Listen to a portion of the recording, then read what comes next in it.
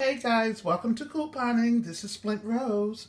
How are you doing? I went into CVS just to make sure that I got in on this Tide deal. However, I did not have that dollar off coupon that's on CVS, so I still didn't get it down as cheap as I could. But for me to save $2, that was awesome.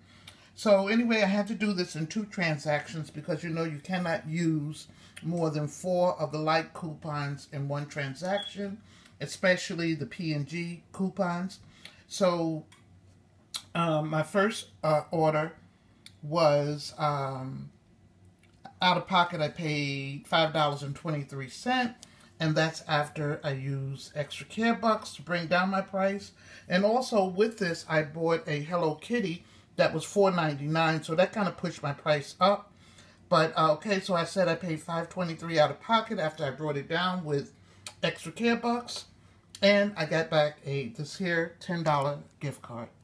Okay, second uh, order out of pocket was, how much? Uh, $12.87. But I bought a toy that was $7.99. Didn't have no coupons for that.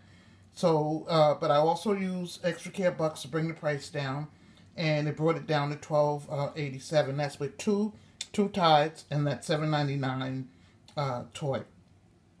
Okay, so like I said, I got the ten dollar gift card. I think I did pretty good.